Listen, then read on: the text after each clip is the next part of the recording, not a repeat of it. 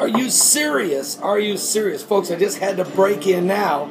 Even though I don't have a lot of time, our live show is going to take place at 7 p.m. Eastern, Sunday night live.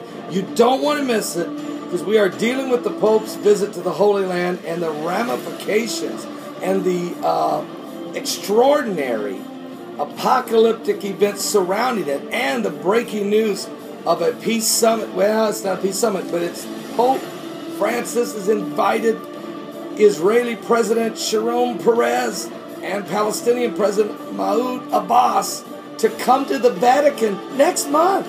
Next month for a time of prayer and peace. Are you serious? Is this one world religion starting to be formed?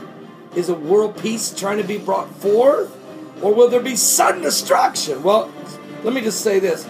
We're going to cover it tonight. Now, one thing's for sure We've had some sudden explosions in Queensland, Australia. I want to thank Heidi, my wife, for coming across this. Flaming objects, most likely to be a satellite debris, maybe, maybe meteorite. Not sure because you just we just went through that debris, that debris zone of Comet LINEAR. Don't know because this happened Friday night, which is when we were going through it. But debris fell to the earth over Queensland, Australia. It hit like a bomb serious?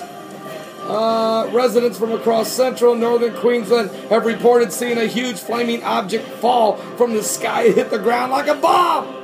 They say they saw what appeared to be a massive ball with blue and orange tail in the sky as it plunged towards the ground. I'll talk about we'll talk about it in the live broadcast. More information on it, what they may have discovered and found. Are you serious? Something biblical's going on with the signs. The second coming of Christ. And I don't think people are aware, and I'm going to have to lift the level. I'm going to have to raise the level of awareness. It's time to raise the level of awareness. We're running out of time.